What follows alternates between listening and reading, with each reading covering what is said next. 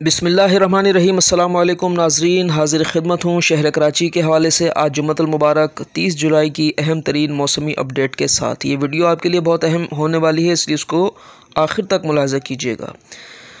ناظرین، آگے بڑھنے سے پہلے چینل کو سبسکرائب کر لیں گے، تو موسم کی تازہ ترین اپڈیٹ سب سے پہلے آپ کو ملنا شروع ہو جائے گی۔ شہر کراچی میں آج جمعے کے دن بھی درجہ حرارت انتیس سے تیس کے درمیان رہا ہے یعنی ٹوئنٹی نائن سے تھرٹی کے درمیان رہا ہے۔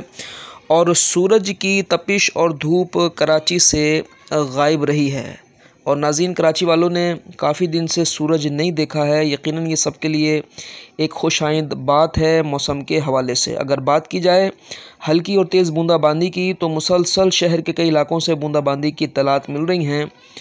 اور ناظرین، اگر مونسون کی شدید بارشیں جو ہیں وہ دیکھا جائے تو شمالی علاقوں، پنجاب اور کے پی کے میں بدستور جاری ہیں اور بہت شدت سے جاری ہیں، جبکہ کراچی والے بھی تیز بارشوں کے منتظر ہیں۔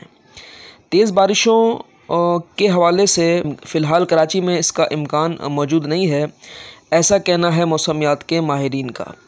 اگست کے درمیان یا پھر سپٹمبر میں تیز بارشوں کی پیشن گوئی موجود ہے چونکہ ابھی اس میں کافی وقت باقی ہے۔ اس لیے حتمی طور پر کچھ بھی کہنا ممکن نہیں ہے۔ کراچی کے حوالے سے موسم کافی جلدی جلدی بدلتا رہتا ہے، ہواؤں کے رخ بھی بدلتے ہیں۔ تو جیسے ہی کوئی اہم ترین اپڈیٹ آتی ہے، انشاءاللہ اس سے ہم آپ کو باخبر رکھیں گے۔ اس کے لیے آپ ہمارے چینل سے وابستہ رہیے۔ ملاقات کرتے ہیں انشاءاللہ اگلی کسی اپڈیٹ میں۔ اللہ حافظ الناصر۔ پاکستان زندہ باد